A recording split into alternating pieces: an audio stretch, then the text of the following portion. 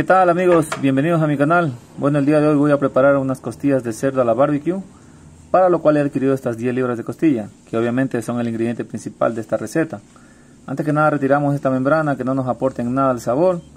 Lo siguiente que haré es cortarla en un tamaño adecuado para que sea más fácil meterlas al horno. Les comento que es la primera vez que voy a preparar esta receta, así que si llegaste hasta aquí y eres un aficionado a la cocina como yo, no esperes ver a todo un chef aquí presente. Simplemente te quiero demostrar que es sencilla esta preparación, ya que la puedes hacer con pocos ingredientes y disfrutarla con toda tu familia. Bueno, aquí voy a retirar el exceso de grasa, tratando de dejar la carne con un mínimo de grasa posible. Yo sé que también las puedes adquirir las costillas ya listas, pero en mi caso las compré así porque necesito esta grasa para otra preparación que voy a hacer. Como pueden ver tampoco es que tiene demasiada grasa, pero es necesario retirarla.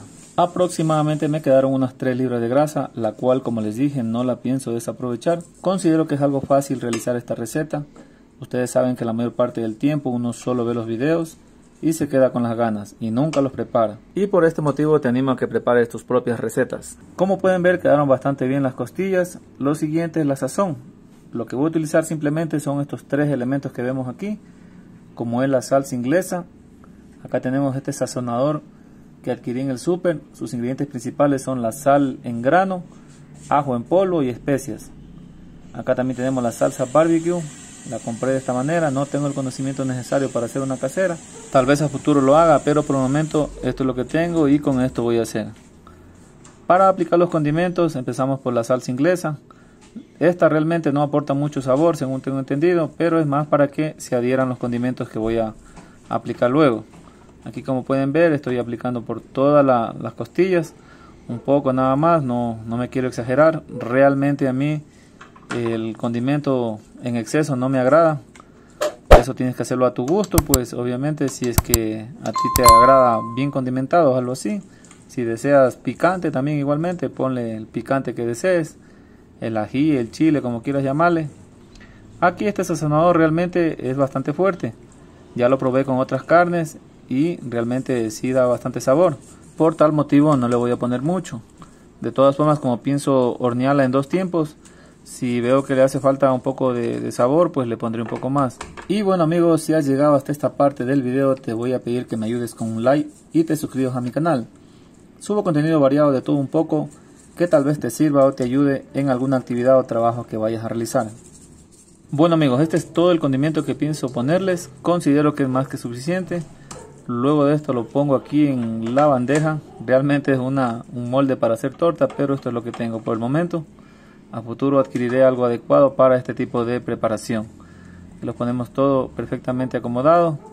Luego de esto lo voy a tapar. También tengo este, este molde, esta tapa de aquí es para las pizzas. Pero ya saben que hay que darse modos. Aquí al horno, 200 grados precalentado, 1 hora 30 y la sacamos. Vamos a ver qué tal van. Les comento amigos que ya se empieza a percibir un delicioso aroma de las costillas hornadas. Ya dan ganas de darle un mordisco ahí, pero todavía faltan. Lo siguiente que vamos a hacer es envolverlas en papel aluminio. Especialmente deben ser dos capas para que cubra bien las costillas. En mi caso lo estoy haciendo de esta manera con la finalidad de que no haya algún tipo de derrame ya que así como están envueltas en papel aluminio las vamos a poner en el horno. Aquí ya estoy terminando de envolver como ven me salieron 5 porciones.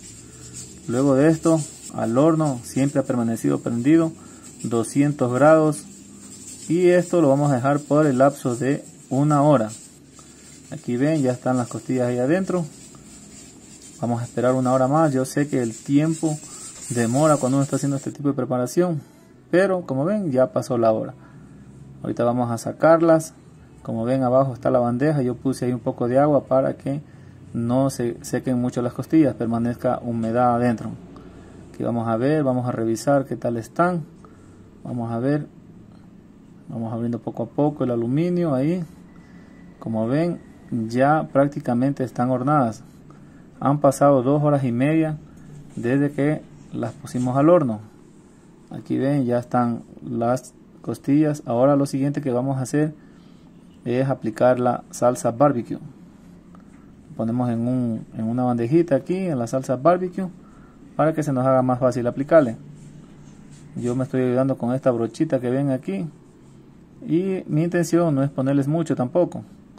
Vamos a ver qué tal sale con esta salsa barbecue. Por eso no voy a aplicarle toda la, todo el envase que tiene la, la salsa. Aquí ven, poco a poco le vamos poniendo ahí. Tratando de que se embarre solo por la parte de arriba le voy a poner. Y este es el resultado. Una vez que ya hemos puesto toda la salsa barbecue, hemos abierto ahí el papel aluminio y esta es la forma en la que vamos nuevamente a ingresarlas al horno yo en mi caso las voy a dejar media hora más así mismo con la misma temperatura 200 grados porque mi intención es de que queden bien suaves las costillas. No quiero que queden duras que queden no. Entonces aquí ya las hemos retirado. Como ven la carne está suave ahí quedó el hueso inclusive.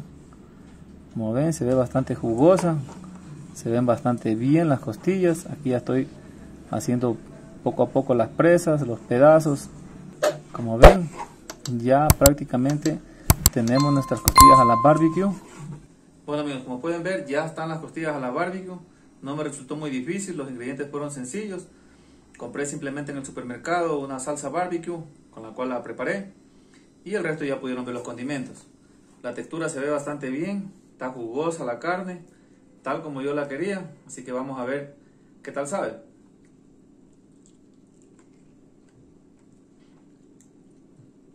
¿Sí?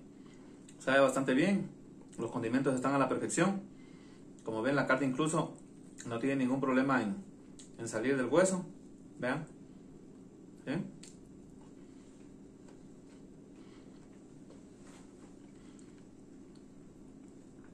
Se siente rica, se siente sabrosa. Ustedes saben que el cerdo igualmente, sin mucho condimento, también da bastante sabor. Bueno amigos, me despido de ustedes. Ya saben, si les gustó el video, denle like, suscríbanse y compartan. Nos estaremos viendo en una próxima ocasión.